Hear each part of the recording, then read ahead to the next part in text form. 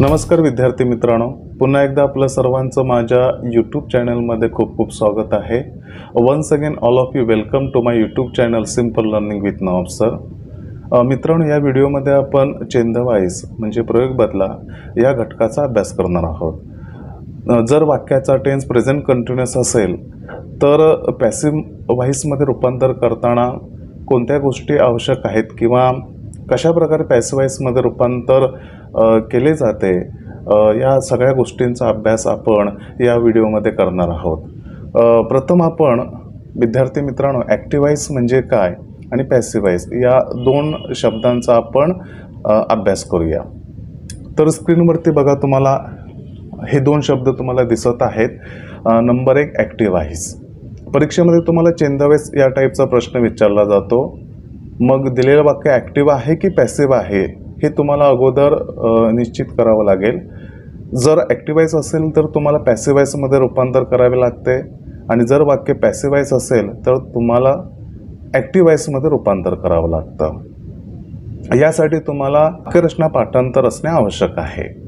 ॲक्टिवाईज म्हणजे the sentence beginning with subject ज्या वाक्याची सुरुवात कर्त्याने होते त्या वाक्याला कर्तरी प्रयोग असं म्हणतात. आणि ज्या वाक्याची सुरुवात ऑब्जेक्टने होते the sentence beginning with object it is call passive voice तर कदाचित तुम्हाला ॲक्टिवाईज आणि पॅसिवाईज या दोन शब्दांचा अर्थ तुमच्या लक्षात आला असेल. आता आपण प्रेझेंट कंटिन्युअस टेनची ॲक्टिवाईज आणि पॅसिवाईज रचना समजून घेऊया. मित्रांनो स्क्रीनवरती बघा. ॲक्टिवाईजची रचना प्रथम आपण समजून घेऊया. या ठिकाणी रचना दिलेली आहे. तर प्रथम सब्जेक्ट येतो. इंग्रजीमधून अगोदर ती समजून घेऊया. Subject plus am is are plus V plus N G plus object subject म्हणजे करता. ॲमेझार ही सहायकारी क्रियापदं आहेत. दुसऱ्या भाषेत त्यांना आपण टू बीची रूपं असं म्हणतो. कर्त्याला अनुसरून यांचा वापर करावा लागतो. जर करता एकवचनी असेल म्हणजे सिंग्युलर असेल तर सिंग्युलर हेल्पिंग वर्ब आपल्याला घ्यावे लागते. जर करता अनेक वचने असेल तर अनेक वचने सहायकारी क्रियापद आपल्याला घ्यावा लागतो. जर आय करता असेल आय सर्वनाम असेल तर नेहमी आपल्याला ॲम या सहायकारी क्रियापदाचा वापर करावा लागतो. त्यानंतर V plus I N G. V plus I N G याचा अर्थ आहे मुख्य क्रियापदाला आय एन जी प्रत्यय. म्हणजेच क्रियापदाचे चौथे रूप प्लस ऑब्जेक्ट. ऑब्जेक्ट म्हणजे कर्म. अशा प्रकारे ॲक्टिव्हाईची रचना असते. आता ही रचना आपल्याला पाठांतर करावी लागणार आहे. तुम्ही यासाठी प्रेझेंट कंटिन्युअस टेन्स आणि am is are plus V plus N G अशी रचना तुम्ही लक्षात ठेवायचा प्रयत्न करा. म्हणजे परीक्षेमध्ये दिलेलं वाक्य ॲक्टिव्ह आहे की नाही हे तुम्हाला ठरवण्यासाठी ही रचना मदत करेल. आता या रचनेप्रमाणे आपण एक वाक्य बनवलेलं आहे. आय ॲम इटिंग वडापाव तर जर तुम्ही या रचनेचा अभ्यास व्यवस्थित केला किंवा समजून घेतली तर या रचनेप्रमाणे या ठिकाणी तुम्हाला या वाक्यामध्ये शब्द आलेले दिसतील. सब्जेक्ट आय आहे सायकरी क्रियापद ॲम मुख्य क्रियापद इटला आय एन जी प्रत्यय लावला म्हणून तो शब्द इटिंग झाला आणि शेवटी कर्म ऑब्जेक्ट वडापाव. आता आपण पॅसिवाईज रचना समजून घेऊया. पॅसिवाईजमध्ये वाक्याची सुरुवात ऑब्जेक्टने होते. The sentence begin with object आणि त्यानंतर टू बीची रूपं असतात. हेल्पिंग वर्ब त्याला आपण म्हणतो. Am is are are helping verb then being plus V three V three means P P P P means past participle of verb and then by plus subject अशी passive वाक्याची रचना असते. आता या ठिकाणी या इंग्रजी वाक्यरचनेच्या खाली मराठीमधून ही वाक्यरचना दिलेली आहे. ती जरा आपण समजून घेऊया. ऑब्जेक्ट म्हणजे कर्म. त्याच्यानंतर सहाय्यकारी क्रियापदं ॲमिजार आता या ठिकाणी लक्षात घ्या कर्म जर अनेक वचनी असेल तर ॲमेझारपैकी तुम्हाला आर हे सहाय्यकारी क्रियापद घ्यावे लागेल. जर कर्म एक वचनी असेल तर इज घ्या. जर त्या ठिकाणी वाक्यामध्ये मूळ वाक्यामध्ये मी असा ऑब्जेक्ट असेल आणि तुम्हाला इनडायरेक्ट ऑब्जेक्टने वाक्याची सुरुवात करायची असेल म्हणजे पॅसिव वाक्यामध्ये रूपांतर करायचं असेल तर मीचं रूपांतर आयमध्ये होईल मग तुम्हाला ॲम हे सहाय्यकारी क्रियापद घ्यावे लागेल. त्याच्यानंतर वाक्यामध्ये चालू क्रिया आहे हे दर्शवण्यासाठी पॅसिव वाक्यामध्ये बिंग हा शब्द वापरला जातो. त्यामुळे लक्षात ठेवा ज्यावेळी तुम्हाला वाक्यामध्ये बिंग हा शब्द आलेला दिसेल त्यावेळी ते वाक्य पॅसिव आहे हे तुम्ही लक्षात ठेवायचं. आणि त्या वाक्यामध्ये चालू क्रिया आहे. त्याच्यानंतर व्ही थ्री व्ही थ्री म्हणजे पास्ट पार्टिसिपल ऑफ वर्ब मुख्य क्रियापदाचे तिसरं त्यानंतर बाय प्लस सब्जेक्ट अशी पॅसिव वाक्याची रचना असते. आता या रचनेवरून आपण वरील हे जे वाक्य आहे आय एम इटिंग वडापाव त्याचं पॅसिव रूपांतर करूया. तर ऑब्जेक्ट वडापाव आहे म्हणून सुरुवातीला वडापाव येईल. त्यानंतर ॲमेझारपैकी एक सहकारी क्रियापद इज या ठिकाणी घेतलेला आहे. त्यानंतर बिंग हा शब्द या ठिकाणी घेतला. व्ही थ्री म्हणजे मुख्य क्रियापदाचे तिसरूप इटिंग हा जो मुख्य क्रियापद आहे त्याचे तिसरूप आहे इटर्न त्याच्यानंतर आपण बाय शब्द घेतला आणि शेवटी आपण सब्जेक्ट घेतलेला आहे. आता मूळ वाक्याची सुरुवात सर्वनामाने झालेली आहे. सर्वनाम आय आहे.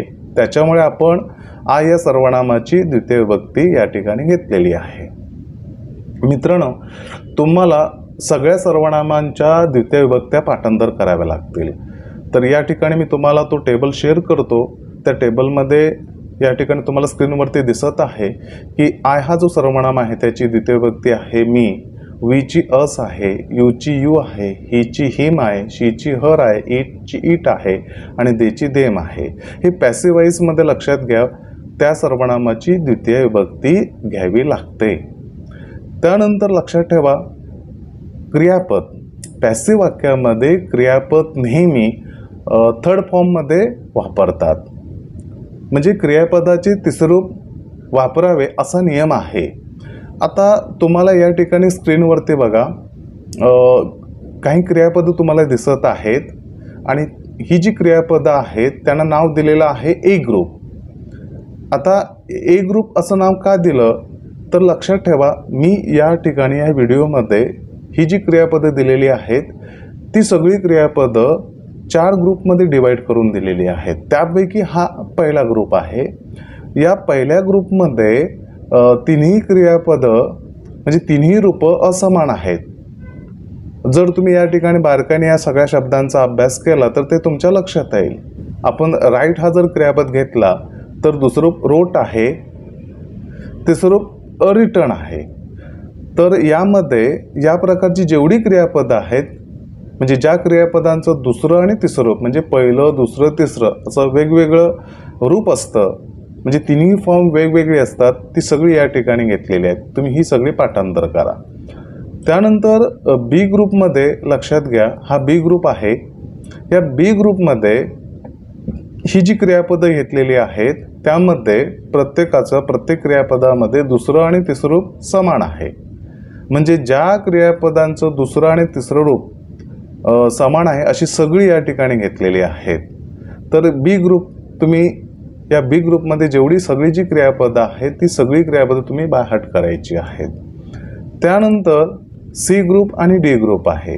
आता सी ग्रुपमध्ये जी क्रियापदं घेतलेली आहेत त्यामध्ये त्या क्रियापदांचं पहिलं दुसरं आणि तिसरं समान आहे. जेवढी या प्रकारची जी क्रियापदं आहेत ती सगळी या ठिकाणी घेतलेली आहेत. आता डी ग्रुपमध्ये काय केलेलं आहे बघा जी क्रियापदं एमध्ये बीमध्ये सीमध्ये बसत नाहीत ती या ठिकाणी डायरेक्टली म्हणा डी ग्रुपमध्ये येतात. म्हणजे त्यांना ईडी प्रत्यय लागतो.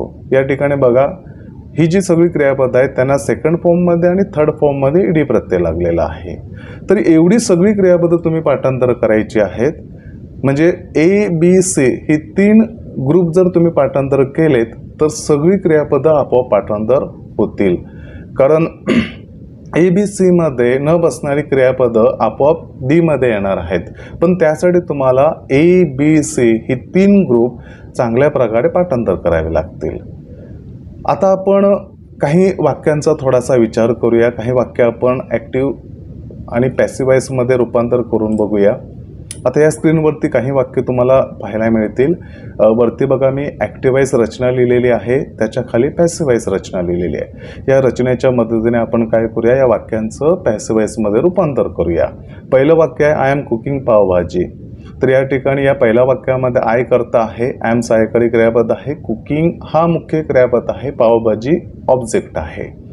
तर या पॅसिव्ह वाक्यरचनेप्रमाणे उत्तर होईल pav bhaji is being cook by me कुकिंगचं तिसरं आहे कुक अशा प्रकारे या ठिकाणी बदल केलेला आहे. बायनंतर आया सर्वनामाची द्वितीय व्यक्ती घेतलेली आहे. नंबर दोन ही इज टीचिंग इंग्लिश आता याचं आपण पॅसिवाईजमध्ये रूपांतर करूया. इंग्लिश कर्म आहे. इंग्लिश इज बिईंग टीचिंगचं तिसरं रूप आहे टॉट बाय आता हिचं रूपांतर आपण हिममध्ये केलेलं आहे. म्हणजे ही या सर्वनामाची या ठिकाणी आपण द्वितीय विभक्ती घेतलेली आहे. We are playing football football is being played by us we या सर्वनामाची या ठिकाणी द्वितीय व्यक्ती अस आहे. अशा प्रकारे पॅसिवाईजमध्ये रूपांतर करण्यात आलेलं आहे. म्हणजे या रचनेप्रमाणे तुम्ही काय करायचे?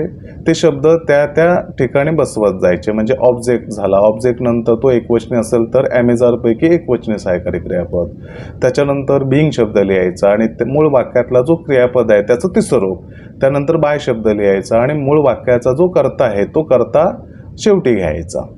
आता चारमध्ये बघा Simran is giving them pencil तर या वाक्यामध्ये आपल्याला दोन कर्म पाहायला मिळतील. एक प्रत्यक्ष कर्म आहे आणि दुसरं अप्रत्यक्ष कर्म आहे.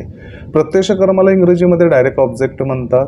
अप्रत्यक्ष कर्माला इनडायरेक्ट ऑब्जेक्ट असं म्हणतात. आता लक्षात ठेवा अप्रत्यक्ष कर्म वाक्यामध्ये नेहमी सर्वनामाची जर द्वितीय विभक्ती आलेली असेल म्हणजे कुठलंही सर्वनाम जर वाक्यामध्ये आलेलं असेल तर ते त्या वाक्यामध्ये इनडायरेक्ट ऑब्जेक्ट म्हणून काम करत असतं. आणि डायरेक्ट ऑब्जेक्ट जर तुम्हाला शोधायचा असेल तर मुख्य जो क्रियापद आहे त्याला वॉट असा प्रश्न विचारायचा. तुम्हाला जे उत्तर मिळेल जो शब्द मिळतो तो त्या वाक्याचा डायरेक्ट ऑब्जेक्ट असतो. फॉर एक्झाम्पल वॉट गिविंग तर या प्रश्नाचं उत्तर पेन्सिल असं मिळेल. त्यामुळे पेन्सिल हे या वाक्यामध्ये डायरेक्ट ऑब्जेक्ट आहे. प्रथम आपण डायरेक्ट ऑब्जेक्ट घेऊन वाक्य सोडवूया. पेन्सिल त्यानंतर सहाय्यकारी क्रियापद इज घेऊया. पेन्सिल एक वचनी आहे. पेन्सिल इज त्यानंतर बिंग शब्द आणि गिविंगचं तिसरं स्वरूप गिवन आणि त्यानंतर इनडायरेक्ट ऑब्जेक्ट हा नेहमी म्हणजे सर्वनामाची द्वितीय भक्ती पॅसिव्ह वाक्यामध्ये टू बरोबर लिहावी. शेवटी बाय आणि करता सिमरन. आता आपण इनडायरेक्ट ऑब्जेक्ट घेऊन वाक्य सोडवूया. देमचं रूपांतर दे व दे होईल. दे अनेक वचने असल्यामुळे are they are being given आता या ठिकाणी डायरेक्ट ऑब्जेक्ट विदाउट टू शिवाय लिहायचा आणि शेवटी बाय सिमरन अशा प्रकारे पॅसिवाईजमध्ये रूपांतर होईल. मित्रांनो या ठिकाणी काही वाक्य दिलेली आहेत. ही वाक्य मी फक्त तुम्हाला वाचून दाखवतो. तुम्ही सोडवायची आहेत. Number one we are cleaning the house two she is reading a book three Gopal is singing a song number four Sita is learning music number five he is telling a story number six they are playing chess number seven you are showing her a car eight teacher is counting them number nine he is a drawing a picture number ten people are buying vegetable तर ही दहा वाक्य आहेत. तुम्ही या ठिकाणी ही सोडवायची आहे. तुम्ही हा व्हिडिओ शेवटपर्यंत बघितलेला आहे. धन्यवाद. जर तुम्हाला हा व्हिडिओ आवडला तर तुम्ही लाईक करा शेअर करा आणि जर तुम्ही कोणी सबस्क्राईब केलं नसेल माझं चॅनल तर सबस्क्राईब करा. धन्यवाद.